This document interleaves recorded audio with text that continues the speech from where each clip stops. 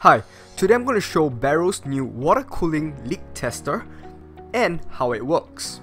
Inside the box, each component is individually wrapped and protected by a huge piece of soft foam. So out of the box from left to right, we have a pump holder, which I'm not really sure what it's for. There are also some mounting options for it, um, but we won't be using it at all. Next we have the air pump. We also have the inlet tube which connects the air pump to the main body with the pressure gauge. We also have two soft tubing um, fittings and half a meter of soft tube. So now I'm going to show how the leak tester works. I'll be testing it on a single radiator to determine if it's airtight. What's great about the leak tester is that you could leak test your entire loop or individual components. This is especially useful if you take apart your water block to clean or buy second-hand parts.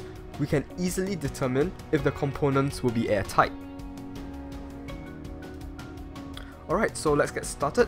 We'll first connect the air pump to the main body. On the main body, we want to ensure that the relief valve is turned anti-clockwise to the on position.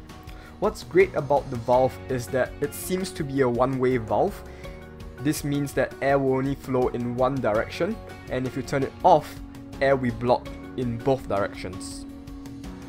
Next, we connect the soft tubing fittings to the main body of the pressure gauge and to the component that you want to test.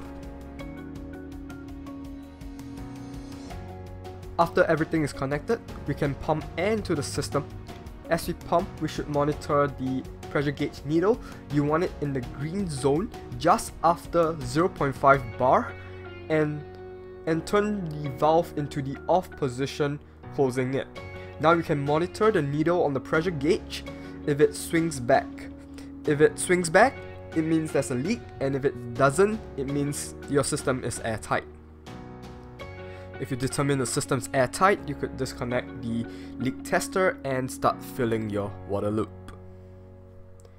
Thank you for watching.